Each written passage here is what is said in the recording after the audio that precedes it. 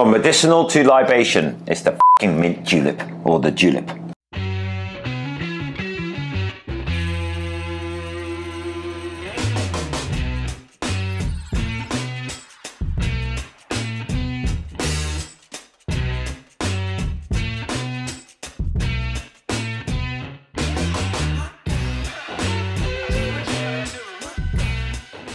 Right, here we go. Very simple. It's part of history. It's actually a big part of history. Uh, if you study the julep, you're studying really Europe. Half of Europe was controlled at one point uh, by the Moors. Okay, and that was a Muslim people, and the rest of Europe was controlled by the Christians. And basically, the julep was uh, a Moorish Arabic uh, creation, and it's actually the word is actually juleb and it's been around for a long time and it's actually something to do with things like rosemary and uh, camphor and various other herbal remedies. But then uh, later on, around the 18th century, when it started coming over into the USA, it became a lot more of a libation and to the point that there was actually a really great little poem, and I like this poem because it's actually rather fitting. In 1796, the, the, the, poem goes Nymphs in the garden picking tulips, while maids are preparing cordial juleps. So let's do a bit more into it, shall we? So, mint julep, a little bit more of history on it. Everybody knows the mint julep as having this, and coming in this, one of these. Actually, originally it wasn't. It was most likely in glass right? But then around the 1820s, somebody started making these and the julep became really big. And another one as well is the, one of the most famous things that goes with it. The julep strainer, okay? And you wonder why all these things are together like so. Well, it's actually really quite simple. Um, men, big burly men in the 19th century, I think half of them were gay anyway, would have nice big, you know, big beautiful beards, all right, and it was like the most important thing in the world to make sure your beard was perfect. Now, one of the things that people used to think was that this was designed to stop your teeth being, you know, hurt by the cold. Actually, it's bollocks. It's all about the beards. So they used to put their drinks together in these little julep cups, and then they used to put this over the top, like so, and then drink. All right. So if you were really, really rich, you had your own little private one kept on you, and otherwise bars used to try and provide it. Nowadays, it's actually used as a tool for making drinks, mainly stirred drinks, and it is actually rather useful. You should have one.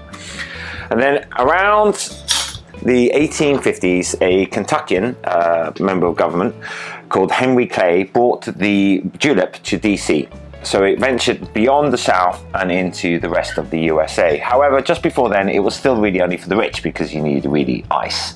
But then ice became such a, a big widespread product that everybody was starting to have it. And the julep really started to come into its own. And it became more really for the USA.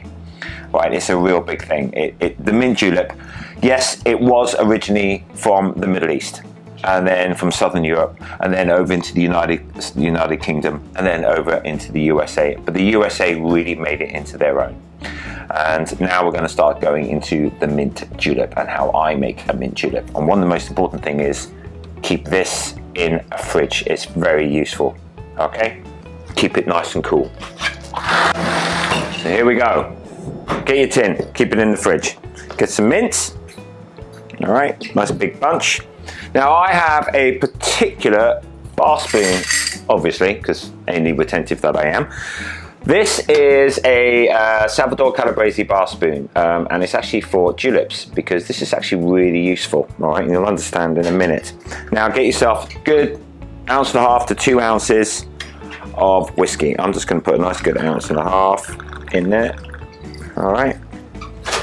Then I do a rich syrup, so just under half an ounce. If you're gonna do uh, normal simple syrup, I do maybe three quarters or under, okay?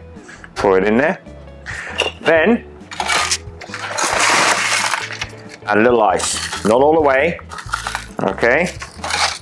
And then just slowly massage the mints and the sugar and a little bit of the ice and the water in there, okay? And I'll do a little bit of a wonderful little fact for you here. In the 1938 Kentucky Derby, the, the people who organisers of that wonderful, phenomenal horse race I've started noticing everybody kept on basically stealing the julep cups and, and, mugs and glassware that the juleps came in. So rather than putting their foot down, they sort of embraced it. So as of 1939, the mint julep has become the symbol of the drink for the Kentucky Derby, and everybody brings out a special commemorative cup for it. Okay, and they're all still being stolen, and some people actually still buy them. But it's gotten so big now that over the April period, that the Kentucky Derby is on for, over hundreds of thousands of juleps are consumed. It's insane. So there we go. I'm now massaged the mint, the sugar and the bourbon together, okay? And then I'm gonna add some more crushed ice or pebble ice, whichever you want. Okay, and then we're gonna just, if you notice, I'm trying not to touch the sides, okay? Because I don't want to warm it up with my fingers, all right? Just do it there. Keep it going.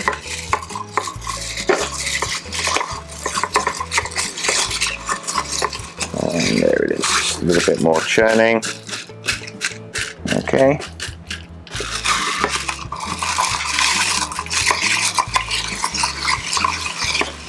There it is, right. Put it down. Get a nice little straw, which I will get. I think one of these ones will do. One in there. Get some more ice over the top, like so. Get a nice lot of mint, okay? Nice big bush, all right? Really go nuts for this. Little squeeze. Put it in over the top like so. Okay, like that. Then what I do love as well is putting icing sugar or, you know, just over the top like so. There we go. And that is a mint julep. But most importantly of all, you know you've done a really good job because that should start icing over. Okay? Isn't that wonderful? And that is a mint julep. It's a wonderful drink, and in summer, actually almost any time of the year, but especially in summer, it's just fantastic. Oh, mmm. Mmm. Oh, God, that's so good. off. Get home safe.